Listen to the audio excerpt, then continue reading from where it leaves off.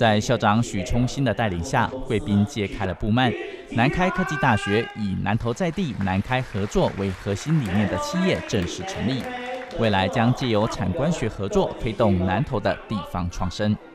哦，那这家的企业就代表是我们学校的老师的能量，跟我们在地跟民间的合一人文哦这边合作，还有跟台中的红点创客哦这边三方面做一个一个链接产学的一个链接哦，包含说南开这边最主要在做科技的部分，然后民间像这种黑人文这边是人文关怀的部分，那。红点创客就是设计的部分，哈，把科技设计跟人文把它串联起来，然后成立了一家南南共创的公司。在老师的这个呃介绍之下呢，有很多是针对于老人哈，应该如何在他们的呃这个呃后期的这个生活当中可以过得更加的有趣，同时呢可以关注到社区的生活，透过一些很益智的跟同学非常有创意的开发呢，很多的软体呢，也让这些的长辈呢在他们的生活当中增添了更多的乐趣。那我们非常高兴呢，南开科技大学呢在这方面非常用心的呃在这个投入哈。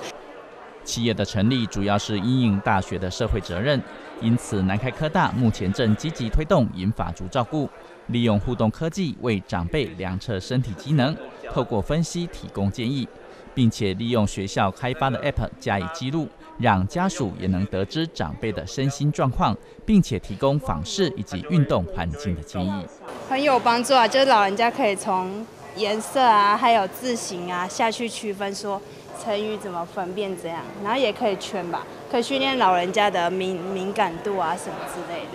我觉得过程中很紧张哎，超级紧张。我会想说，哎，奇怪，成语在哪里？然后它是顺的吗？还是怎样子？对，可以刺激老人家的脑袋吧。嗯，蛮好的。是为老人家设计，因为想说，呃，他平常呃在庙里面拜拜会看到的神。呃，哎，变成一个这么可爱，然后可以在手机上面变成三 D 立体的东西，可，